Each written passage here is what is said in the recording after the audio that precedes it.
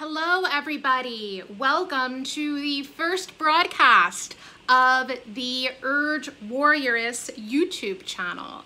Uh, now, some of you followed me on my so-called uh, pilot uh, YouTube channel. Um, and I'll, for those of you who haven't, I'm going to introduce just briefly who I am and a little bit about the project I'm doing uh, so you can decide whether or not you want to follow along and join me for my journey. So my name is Ashley. Um, I am the Urge Warrioress here on the Urge Warrioress channel. And the reason why I chose the name for this channel is because 90 days ago, I made a conscious decision to address an overeating problem that I had had on and off for 15 years. I had tried, I had tried various methods of addressing the problem over the years and had not found anything that gave me long-term success. So I thought of this crazy, seemingly random idea. I said, you know, what if I make videos, right? Because I had tried recording videos to myself to like play back, like if I was having an urge to overeat, like play back the video and reinforce the thoughts. Uh, but you know, I thought, I really, uh, recovery for me, um, I don't want it to be a solitary thing, right? Like I can benefit from the community. Um, and there are set communities out there of people recovering from eating disorders, but I really didn't feel like I fit in or that their recovery approach was right for me. So I said, you know what? I am going to talk to um, just a small group of people closest in my life that know that I've been going through this and say, hey, I'm gonna try something new. Other things haven't worked. I'm feeling motivated to change. Um, I wanna try this. Would you be willing to just receive my videos every day? No pressure to watch them, no pressure to text back. Um, I just need to text you to hold myself accountable and, and you can do with the video, you know, what you'd like. So I tried that and that approach ended up being really successful for me in uh, reducing my binge eating behaviors. Um, out of a 90 day pilot that I did trying this, 74 out of 90 days were uh, free of overeating. So I used various methods that helped me cope with urges in the moment, um, and I'll get to those uh, throughout, um, throughout this series. And when my 90 days started approaching, I was thinking of, okay, so I've, I've had some growth in stopping this compulsive eating behavior, which I will continue to build upon. Um, but what's the next? Uh, what's the next step in my growth as a person now that I've had some progress with this?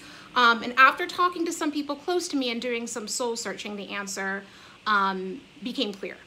Um, I uh, recently separated from um, my husband about nine months ago. Um, I was in, uh, I'm 36 right now. I've been in back-to-back -back relationships pretty much since I was 18. So this is my first time um, being single as an adult, basically ever.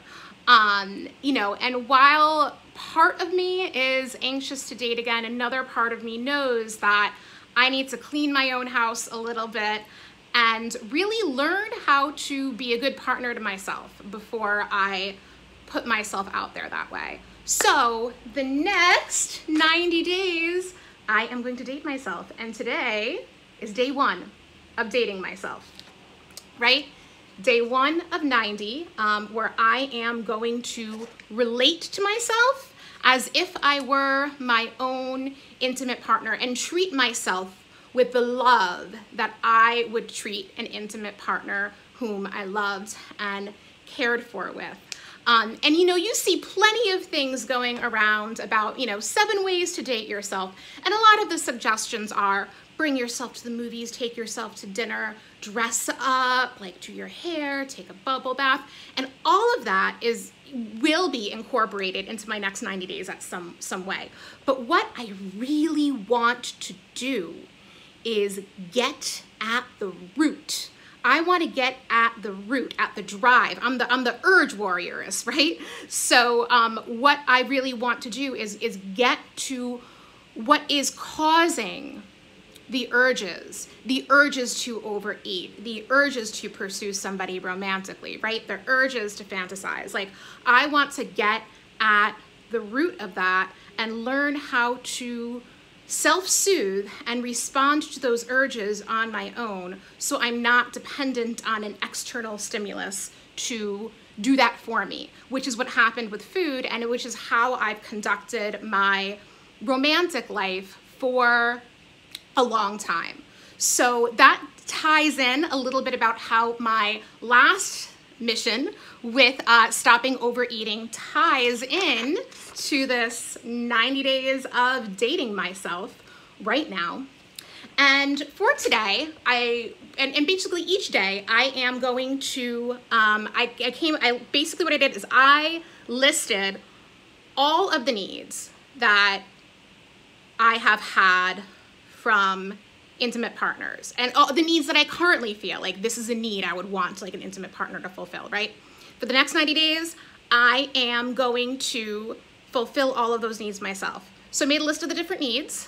Um, and I don't have 90 yet. I started with 12. some of them might recycle themselves, but basically each day, there's some I'm gonna do daily, and there's some that kind of throughout the journey I'm gonna pick like, okay, I'm gonna focus on this for today, and that will be the topic of my video. So the first um, need I came up with is that when I when I have the like desire to have an intimate partner or the attachment to one, like one of the one of the, the needs that I want that to fulfill is like being part of a tribe, right? Which I think is a very like primal thing. Like we all want to be part of a tribe somehow.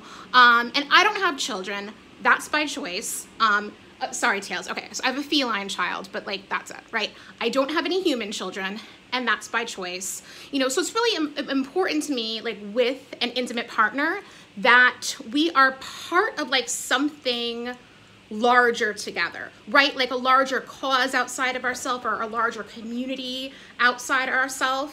Um, so that's something that's like, um, a need that often I might seek out a romantic partner to kind of like help me fulfill. Like we're like, we're lovers in the context of this larger tribe, right? So I think a way I can fulfill that need when I'm by myself is still collecting, connecting with um, groups in the community, connecting with like existing, you know, units in my extended family, like reaching out to um, groups I know that have some sort of like collective mission, right? And it might be like, you know, some kind of tribes here and there. Um, but just reminding myself that I don't need to be in like this um, like monogamous marriage type relationship to like be part of a larger family. There's so many ways that can look like. There's so many things that that can look like. Um, and I think that participating in causes, right, that are so much greater than me and that I, I know a lot of people are participating in as well, even if they can't be with me at this very moment, breaks that isolation a little bit and makes helps me feel like I'm part of something larger and important.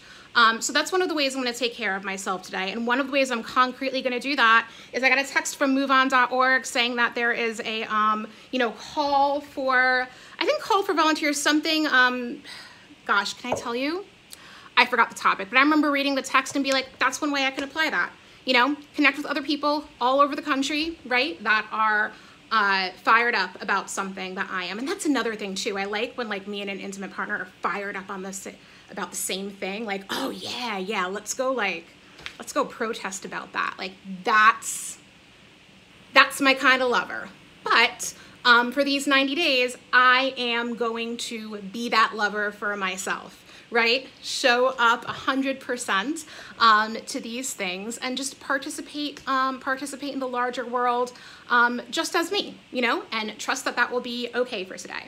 Um, so one more thing I wanted to say, uh, I was going to do this at the beginning, but um, I'm not good at following scripts. I go off the cuff. So might bounce around here and there, but my last point before I wrap up, because I do want to keep these videos uh, relatively brief, 10 minutes or less if needed. Oh, I'm already at 947. All right, let's do like 12-ish minutes or, or, less for this one.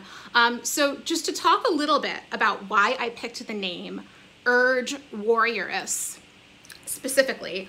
Um, so the urge part, I explained this a little bit, but you know, I, I knew that the missing piece in my recovery from my binge eating problem was to have a better way of not giving into urges in the moment. I'd done a lot of the work, other work around recovery, but like, you know, it was like in that moment, like just saying no, you know, to um, to the urge. So I sought some um, resources around that.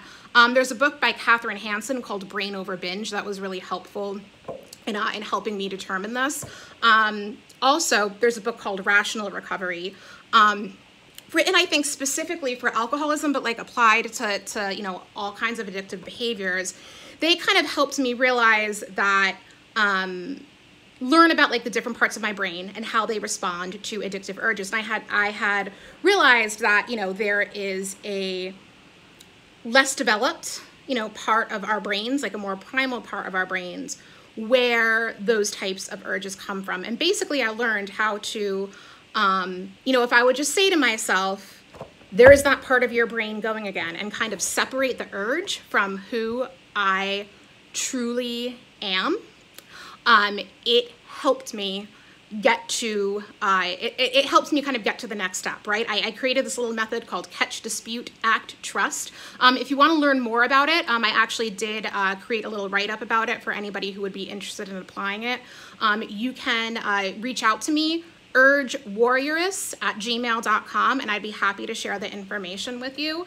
Um, but basically, it consists of catching the urge, like, ooh, urge, there you go, I see you, disputing the urge, saying, you're not gonna fool me, I know what this is, and actually, binging won't make the behavior okay at all.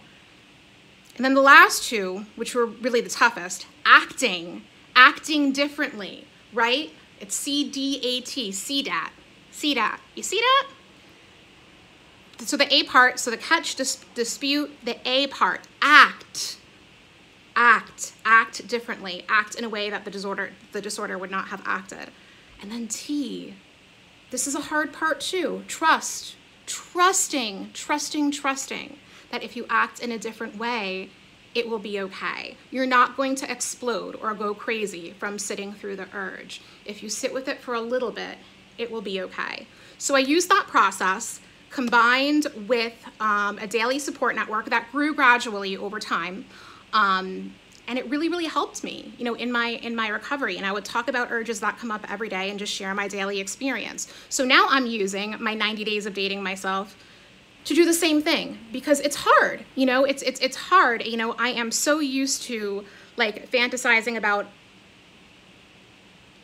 other people like meeting my needs. Like it is hard to kind of basically what i'm going to have to do is every time i have that thought of you know oh, I want to be with someone because of X. Okay, what's what's the core need there and how can you do that for yourself? So those are the urges that I'm going to be tracking for the next 90 days, plus all the food stuff too. So the updates um, that you'll hear from me throughout this 90 days are going to be about, um, gosh, like two of our most like primal urges, like um, food and love slash sex.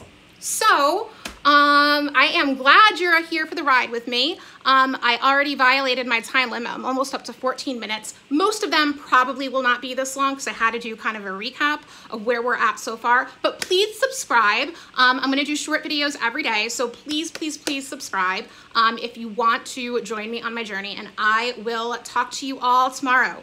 Okay? Have a great day. Thanks.